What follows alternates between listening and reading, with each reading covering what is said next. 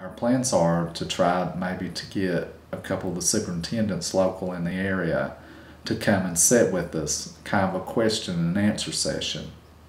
So we want to get the word out so we can have uh, a lot of people come to the, the Facebook Live page and um, be with us and interact with us.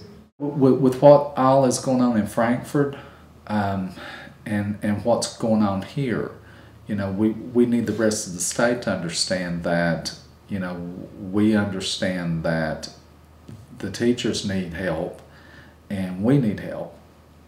And we want to be a part of the solution. Of the solution.